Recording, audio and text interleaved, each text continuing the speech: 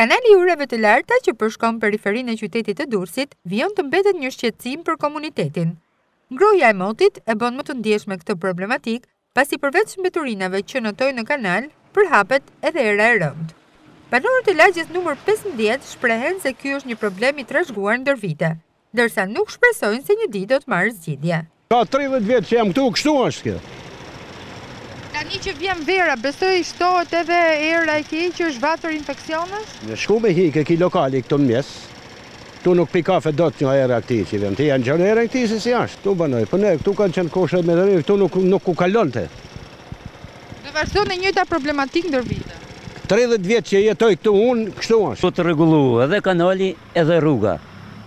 Kjo punë që është punë shteti duhet ta bëjë shteti, duhet të favorizojë shteti.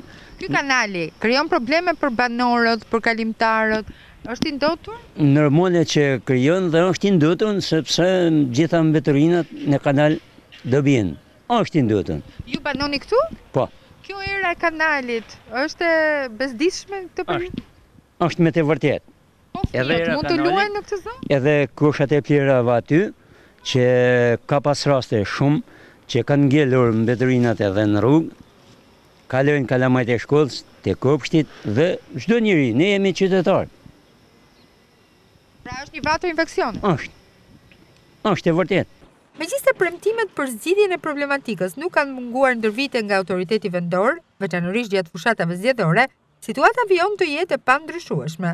Banorët e periferisë duhet të ndajnë përditshmërinë me këtë vatër infeksionesh që i rrezikon shëndetin dhe jetën, duke pritur që Bashkia e Durrësit të kujtohet një ditë për ta.